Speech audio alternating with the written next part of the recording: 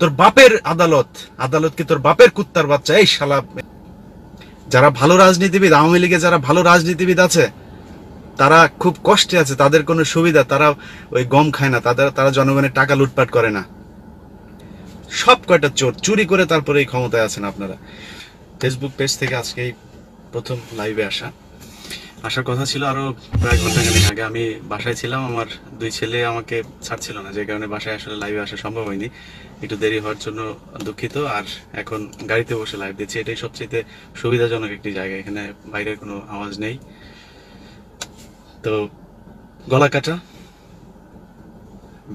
Share বাজারে সাতাশ হাজার কোটি টাকা। কয়েক লাখ মানুষ পানিবন্দী। রেণু হত্যা। ভারতীয় জেলেদের বাংলাদেশ থেকে যখন নিষিদ্ধ মৌসুম চলে, তখন ভারতীয় জেলেদের সমুদ্র থেকে মাছ ধরে নিয়ে যাওয়া। ঈশ্বর, অভাব নেই। কত কিছু নিয়ে কথা বলবেন। তো আমি চাচ্ছি আমার ফেসবুক পেজটাকে প্রমোট করতে, কারণ আইডিটা আপনারা জানেন যে আমি এখন হিন্দুদের বিরাট বড় শত্রু। আমি যদিও তাদের হিন্দু, মুসলমান নিয়ে কখনো চিন্তা করি না, কিন্তু তারা মনে করে। তো আমার আইডিটা যে কোনো সময় নাই হয়ে যেতে পারে। আমি অলরেডি আমার পেজে আরও দু একজনকে অ্যাডমিন বানিয়ে পেজটাকে আমি টিকিয়ে রাখার চেষ্টা করছি না তো আপনাদের থেকে হয়তো ডিটাস্ট হয়ে যাওয়ার সম্ভাবনা আছে। তো যতটুকু পারবেন আপনারা পেজটাকে শেয়ার করবেন লাইভের পুরো ইয়েটাই। এখন ইস্যু কয়টা ইস্যু নিয়ে কথা বলবেন? ইউটিউবে কথা বলতে বলতে মানুষ, ধরুন, সবাই বিশেষজ্ঞ হয়ে গেছে সবার ইউটিউবে চ্যানেল আছে, সবাই কথা বলছে। অভাব নেই ইস্যুর আমি যে কথাটা বলেছিলাম যে আজকে সুমনের বিষয়টা নিয়ে আসব। ব্যারিস্টার সুমন, আমি, তিনি ভালো মানুষ না খারাপ মানুষ সেটা আল্লাহ জানে, সেটা নিয়ে আমি কথা বলতে চাই না। কিন্তু ব্যারিস্টার সুমনের মনে আছে কিনা জানি না। দু হাজার সম্ভবত এগারো বারো সালের দিকের কথা। প্রেস ক্লাবের ভিআইপি লাউঞ্জে একটি অনুষ্ঠান ছিল, সেখানে আমি একজন ইনভাইটেড গেস্ট হিসেবে গিয়েছিলাম আমাদের একুশে টেলিভিশনের সংবাদ প্রচার করতে কভার করতে। সেখানেই সুমন সাহেবও বক্তব্য রেখেছিলেন। সেখানে জনাব সম্ভবত সানাউল হক অথবা মিয়া এরকম একটা নাম, যিনি আন্তর্জাতিক যে তথাকথিত যে আন্তর্জাতিক ট্রাইব্যুনাল, যুদ্ধ অপরাধীদের বিচার করলেন, সেই ট্রাইব্যুনালের প্রধান সমন্বয়ক ছিলেন সেই ব্যক্তি। তার কাছে আমি প্রশ্ন করেছি- করেছিলাম যে যুদ্ধ অপরাধীর বিচার বলতে কি এই শুধু জামাত ইসলামের নেতাদেরই বিচার হবে, না আসলেই যারা যুদ্ধ অপরাধী ছিল তাদের সবারই বিচার হবে? তো তিনি আমাকে জিজ্ঞেস করেছিলেন যে আপনি কোন টেলিভিশনের? আমি বললাম আমি একুশে টেলিভিশনে। তারা মনে করতো যে একুশে টেলিভিশন মানেই হচ্ছে জামাত শিবিরের টিভি। ও আচ্ছা আচ্ছা আচ্ছা। হ্যাঁ, ঠিক আছে ঠিক আছে। বসেন বসেন। আপনাকে এই প্রশ্নের জবাব আমি দিতে চাচ্ছি না। তো সুমন সাহেবের যদি আমার চেহারাখানা যদি মনে থাকে তাহলে নিশ্চয়ই মনে থাকবে। সেদিন সুমন সাহেবের সাথে আমার ব্যক্তিগত কোনো কথা হয়নি কিন্তু আজকে আসলেই যদি সুমন সাহেব এই শুধুমাত্র মানুষের আলোচনায় আসবার জন্যই মামলা করে না থাকে সে মন থেকেই যদি করে থাকে, আমি মনে করি না সে মন থেকে করেছে, কারণ হচ্ছে সুমন সাহেবের অনেক ভক্ত আমার এখানেও আছে, আমি আপনাদেরকে খুব পয়েন্ট টু পয়েন্ট আমি মানে গল্পের কথা বলি না, আমি যৌক্তিক কথাবার্তা বলি। বাংলাদেশে এই গত পঞ্চাশ বছরের মধ্যে সবচাইতে গুরুত্বপূর্ণ ঘটনা ঘটেছে হচ্ছে এই গত যে নির্বাচন সেটা, কারণ এই নির্বাচনে প্রকাশ্যে মানুষের সামনে ভোট চুরি না, ডাকাতি করা হয়েছে। এবারই প্রথম, যেটা কিনা মানুষ ভোট দিতে চেয়েছে, কিন্তু তাদেরকে কেন্দ্রের ভেতরে ঢুকতে দেওয়া হয়নি। চুরি করে তারপরে ক্ষমতা এসেছেন, চুরি করে, আপনি চুরি করে তারপরে ক্ষমতা এসেছেন। একজন আওয়ামী লীগের মানুষ বলতে পারবে যে আপনার কেন্দ্রে চুরি করেননি। সব কয়টা চোর, চুরি করে তারপরে ক্ষমতায় আছেন আপনারা। আপনাদের মতো চোরের কাছ থেকে মানুষ ভালো কিছু আশা করবে, যে আশা করে সে করতে পারে। কিন্তু আমি মনে করি আপনার বাসায় যে একবার চুরি করেছে, তাকে আপনি আবার আপনার বাসায় কাজের বুয়া হিসাবে রাখবেন। আপনি তার কাছে কোনো মাল গচ্ছিত রাখবেন? তো যে চোর, আমি জানি যে সে চোর। আপনি নিজেও জানেন যে সে একজন চোর। তার কাছে আমরা চাইছি বাংলাদেশ সিঙ্গাপুর হয়ে যাবে, লস অ্যাঞ্জেলস হয়ে যাবে। এটা সম্ভব কোনোদিন। তো এটা হচ্ছে সবচাইতে বড় ঘটনা। ব্যারিস্টার সুমন মাঝে মধ্যেই লাইভে আসেন। আপনি এই নির্বাচনের, এই ভোট চুরি নিয়ে কোনো লাইভ করেছেন? আপনি নির্বাচনের আগে এই- এবারে নির্বাচনে আপনি এমপি মনোনয়ন চেয়েছিলেন, আপনাকে দেয়নি। না দেওয়ার পরে এখন আপনি বিভিন্ন গণ যেসব দুর্ভোগমূলক যেসব কার্যকলাপ আছে সেগুলো, যেগুলো খুব ছোট ছোট ইস্যু এগুলো রাজনৈতিক ভাবে জড়াতে চান না। তো সুমন সাহেব, নিশ্চয়ই আপনার কাছে আমার এই লাইভের কপিটা যাবে। আমি আপনাকে শত্রু মনে করি না, আপনি আমাকে শত্রু মনে করবেন না। ব্যক্তিগত আক্রোশের চিন্তা করে আমাকে গালাগাল করবেন না বা কোনো আজে বাজে কথাবার্তা বলবেন না। আমি আপনাকে খুব যুক্তি সহকারে বুঝাতে চাই। আমার এই ফেসবুক লাইভে যারা আছেন, এখানে আওয়ামী লীগ ছাত্রলীগের মানুষজন থাকতে পারে। আপনাদের কাছে আমি একটি প্রশ্ন করি। আপনি যে এমপির জন্য রাজনীতি করেন, যে প্রধানমন্ত্রীর জন্য রাজনীতি করেন, তিনি কি আপনার জন্য রাজনীতি করে? আপনার যে এলাকার এমপি আপনাকে আপ- ধরলাম যে আপনি এলাকার কলেজ বা থানা ছাত্রলীগের সভাপতি। আপনি গিয়ে এমপি কে বলুন তো, আপনি তো তাকে আইডল মনে করেন, সে আপনার আদর্শ। তার কাছে গিয়ে বলেন যে, এমপি সাহেব আমার স্বপ্ন, আমি সামনের বছর, সামনে নির্বাচনে আমি এই আসন থেকে মনোনয়ন চাবো শেখ হাসিনার কাছে। কালকে আপনি লাশ হয়ে যাবেন। আপনি যাকে আইডল মনে করেন, সে আপনাকে কখনোই উপরে তুলতে চায় না। অথচ আপনি তাকে আইডল মনে করছেন। সারা দিন মিছিল করছেন, তাকে নিয়ে স্লোগান দিচ্ছেন যে, আমার নেতার চরিত্র বালের মতো পবিত্র এগুলি বলছেন। কিন্তু সে আপনাকে আসলে ভালো জানে না। আপনি তাকে গিয়ে বলেন যে এমপি সাহেব আমার রাজনীতি করতে আর ভালো লাগছে না, আমি এখন ই করতে চাই, একটি ভালো চাকরি করতে চাই, আমার একটা চাকরির ব্যবস্থা করেন। সে আপনাকে পথ থেকে সরাই দিবে।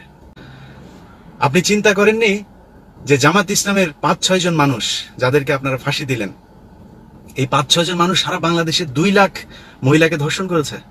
এই পাঁচ, ছয় জন মানুষ দুই লাখ মহিলাকে পাকিস্তানি ক্যাম্পে নিয়ে পাঠিয়ে দিয়েছে? যদি নিরপেক্ষ একজন মানুষ হয়ে থাকেন, তাহলে আপনি নিজে নিজেকে প্রশ্ন করুন, আপনার এলাকায় যে মানুষটা কিনা জামাত ইসলাম করে, সেই লোকটা, তারা চরিত্রটা একটু দেখুন। তার তার রাজনৈতিক পলিসি তার সে দেশের দেশদ্রোহী হোক আর যাই হোক, সে কিন্তু মানুষের সামনে হলেও কিন্তু সে নিজেকে নামাজি এবং নিজেকে একজন ধার্মিক মানুষ হিসাবে জাহের করতে চেষ্টা করেন। সে মানুষটা কিন্তু একটা মেয়ের দিকে এভাবে আর চোখেও তাকায় না, কারণ তাদের ধর্মীয় একটা লেবাস আছে। যুদ্ধের সময়, আমি আমার এলাকা দিয়ে যাচাই করে। আমার গ্রামে শুনেছি, আমার, আমি আমি যেহেতু যুদ্ধ দেখিনি, দুজনের কথা শুনেছি যে তারা রাজাকার ছিলেন। তারাই রাজাকার, যারা তাদের বংশধরই আজকে আওয়ামী লীগ করে, যারা কিনা আজকে সুবিধা নেয়। এই সুবিধাবাদী মানুষগুলো সেই একাত্তর সাল থেকে আজ পর্যন্ত সব সময় সুবিধায় আছে। এই মানুষগুলি বিএনপির সময় সুবিধা নিয়েছে। যারা ভালো রাজনীতিবিদ, আওয়ামী লীগে যারা ভালো রাজনীতিবিদ আছে, তারা খুব কষ্টে আছে, তাদের কোনো সুবিধা তারা ওই গম খায় না, তাদের, তারা জনগণের টাকা লুটপাট করে না। শুধুমাত্র বঙ্গবন্ধু শেখ মুজিবুর রহমানের কারণে তারা আওয়ামী লীগ করে। তারা কোনো সুযোগ সুবিধা পায় না। বরং তাদের যেসব ত্যাগী নেতা কর্মী আছে, তারা মারা যায়। সে মারা যাওয়ার পরে সে বিচারটাও পায় না, কারণ যাদের নামে যারা তাকে খুন করেছে, তাদের নামে বিচার করতে গেলে এমপি তার উপর থেকে নির্দেশ আসে যে এদের নামে মামলা করা যাবে না। মামলা করতে হবে হচ্ছে জামাত বিএনপি। জামাত ইসলাম প্রকাশ্যে তারা বিরোধিতা করেছে মুক্তিযুদ্ধের। যদিও আমি এখন যা দেখছি, তাদের বিরোধিতার পেছনে যে যুক্তি আমি এখন জামাত ইসলাম বা বিভিন্ন মানুষের কাছে শুনি সেই যুক্তি হান্ড্রেড পার্সেন্ট সঠিক। কারণ তারা নির্যাতনের বিরুদ্ধে কথা বলেনি এমন না, কিন্তু তারা চায়নি যে বাংলাদেশ পাকিস্তান থেকে আলাদা হোক। সেটার কারণ ছিল নাকি? আমি জানি না তাদের কারণ কি ছিল, কিন্তু তাদের কারণ যদি সেটা হয়ে থাকে আসলে যেটা তারা বলে, যে ভারত আমাদেরকে দখল করে নেবে, সেটাই হচ্ছে। তো তারা তো ঠিকই ছিল। তারপরেও আমি তাদেরকে রাষ্ট্রদ্রোহী মনে করি, আমি তাদেরকে স্বাধীনতা বিরোধী মনে করি। তো ফাঁসিটা তো অনেক আগে হওয়ার কথা ছিল। আপনার শেখ মুজিবুর রহমান সাহেব ফাঁসি দেননি কেন? এখন আপনি বলছেন আপনার বিরুদ্ধে কেন মামলা করা হচ্ছে, এটা নিয়ে কথা হচ্ছে। এটাও আপনার জন্য লাভই হয়েছে, কারণ আপনি এখন বিরাট বড় সেলিব্রিটি হয়ে গেছেন। আপনাকে সবাই এখন চেনে। আপনি নায়ক ভিলেন থেকে নায়ক হয়ে গিয়েছেন। কিন্তু আপনি সেদিন যে বক্তব্য রেখেছিলেন, সেই ভিআইপি লাউঞ্জে সেই বক্তব্য আমি শুনেছিলাম। আমার মনে আছে সেই বক্তব্যটা। এই জামাত ইসলাম নাকি আপনি ফাঁসি দিতে না পারলে নাকি দেশ নাকি এই একেবারে আওয়ামী লীগের সব মেরে ফেলবে জামাত ইসলামের লোকজন, এই করবে, সেই করবে। কত কথা আপনার মুখ দিয়ে সেদিন বলেছিলেন। তো সেই মানুষগুলো কিন্তু মারা গেছে আজকে। তাদের ফাঁসি হয়েছে। কিন্তু দেশে গলা কাটার গুজব ছড়িয়ে সাতাশ হাজার কোটি টাকা গায়েব করে দেওয়া হলো। লক্ষ লক্ষ মানুষ পানিতে ভাসছে, সেটা নিয়ে কোনো কথা আসছে আসছে না। এখন সবাই আছে রেণু হত্যা নিয়ে, আর হচ্ছে মাথা কাটার গুজব নিয়ে। আর এদিকে প্রিয়া সাহা নিয়ে। কারণ যদি নাকি এই ঘটনাগুলো সামনে না আসতো তাহলে সাতাশ হাজার কোটি টাকার বিরাট বড় অঙ্কের টাকা, সাতাশ হাজার কোটি টাকা দিয়ে একটা পদ্মা সেতু হয়। একটা পদ্মা সেতুর টাকা সাতাশ হাজার কোটি টাকা। বন্যায় লক্ষ লক্ষ মানুষ, এগুলো সব পত্রিকাতে, টেলিভিশনে আসতো, কিন্তু সেগুলো এখন সামনে নেই। মানুষ সবাই আছে এই বিষয়গুলো নিয়ে। তো আপনি যে বিচার চাচ্ছেন আজকে, আপনার বিরুদ্ধে মামলা হয়েছে, আপনার বিরুদ্ধে না শুধু। বাংলাদেশ মুসলমানদের মসজিদে গিয়ে ঠিক মতো নামাজ পড়তে পারবে কিনা? আগামী এক বছরের মধ্যে, এক বছর, আজকে থেকে এক বছর সময় দিলাম ঠিক মতো নামাজ অলরেডি পড়তে পারে না, কারণ এই যে দুদিন আগে একজন মসজিদের ইমামকে জুমার নামাজে আপনার খুদ্া কি বলে আপনার শুক্রবারে নামাজে, সে খুদ্বায় আপনার ওই যে ইস্কন নিয়ে কিছু কথাবার্তা বলেছিল। সেটা বলার কারণে তার ওই দিন রাতে তার গলা কাটা লাশ পাওয়া গেছে সিলেটে। আমাদের দেশে, মুসলমান দেশে মুসলমানদের ছোট ছোট সন্তানদেরকে স্কুলে ঢুকে তারপরে তাদেরকে প্রসাদ খাওয়ানো হচ্ছে, খাইয়ে সেখানে শ্রীরাম বলানো হচ্ছে। সেই স্কুলে কি মুসলমান কোনো শিক্ষক নেই? সেই স্কুলের ম্যানেজিং শি- শি- মুসলমান নেই? সেই এলাকায় যারাই ভিডিও ধারণ করেছে, সেটা তো নিশ্চয়ই কোনো হিন্দু না, কোনো মুসলমান করেছে। কথা বলার সাহস নেই, কেন জানেন? কথা বললে আপনার মতো অবস্থা হবে, এই কারণে।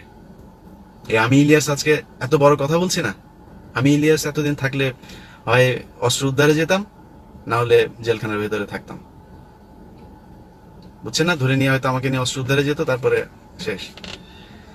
তো এই হচ্ছে দেশের অবস্থা। যে কারণে মানুষ এরই মধ্যে বিএনপির মতো এত বড় একটা রাজনৈতিক দল, দেখুন, শুনছি যে নেতাদেরকে, উপরের কয়েকজন নেতাদেরকে বড় অঙ্কের টাকা পয়সা দিয়ে বসিয়ে রেখেছে, কোনো কথা নেই।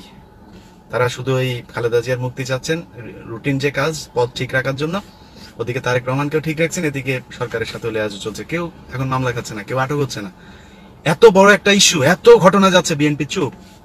অতএব রাজনীতি সবাই নিজের স্বার্থে করে। বাংলাদেশে কোনো রাজনীতিবিদ আমাদের জন্য রাজনীতি করে না। আমাদের স্বার্থ যেটা, সেটা আমাদেরকে বুঝতে হবে। আপনি যদি আসলেই ভালো মানুষ হয়ে থাকেন, আপনি যদি আসলেই মানুষের ভালো চান জন দুর্ভোগ নিয়ে কাজ করতে চান, তাহলে প্রতিটা ইস্যু নিয়ে কাজ করতে হবে। সাতাশ হাজার কোটি টাকা নিয়ে আপনার লাইভ নেই কেন? আপনি কোথায় কার বাথরুম নষ্ট হয়েছে সেটা নিয়ে আপনি লাইভ করছেন। তো সাতাশ হাজার কোটি লাইভ কোথায়? কেন দিচ্ছেন না, বলুন? এসব বাটপারি করা বাদ দেন। এসব চিটারি বাটপারি বাংলাদেশের মানুষ বুঝে। অন্য মানুষ না বুঝলেও যারা মোটামুটি ইতিহাস টিতিহাস জানে, মোটামুটি দুই কলম পড়াশোনা করে, তারা অন্তত জানে। পাবলিক সিম্পেথিকে কাজে লাগিয়ে বড় স্টার হওয়া যায়। হ্যাঁ হওয়া যায়। কিন্তু উপরওয়ালা একজন আছে, তার কাছে জবাব দেওয়ার সময় আপনাকে ঠিকই কড়া এক গন্ডায় হিসেব নেওয়া হবে আসলে আপনি কেমন ছিলেন। মানুষকে ধোকা দিয়ে, মানুষকে বোকা বানিয়ে তারপরে মানুষের কাছে ভালো মানুষ, সে যে লাভটা কি? কি হবে বলেন? কি হবে? এই যে এখন বিপদে পড়েছেন। এই সাধারণ মানুষগুলোই পাশে পাশে আছে, অথচ আপনি এতদিন যাদের জন্য দালালি করেছেন, তারা কিন্তু পাশে নেই।